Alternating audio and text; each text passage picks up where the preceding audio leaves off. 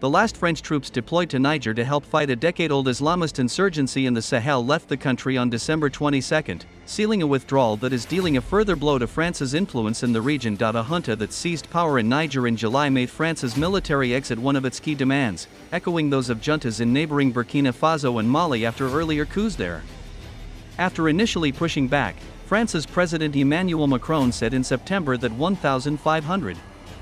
troops would pull out of Niger by the end of the year. The move followed a full withdrawal from Mali completed in August 2022 and the end of military cooperation with Burkina Faso in February, raising concerns about spiraling insecurity in the region. Until the coup, Niger had remained a key security partner of France and the United States, which have used it as a base to fight groups linked to Al Qaeda and Islamic State that have killed thousands and displaced millions across the Sahel and beyond. France said on Thursday that it was planning to close its embassy in Niger for an indefinite period as it was unable to carry out diplomatic tasks due to restrictions imposed by the junta.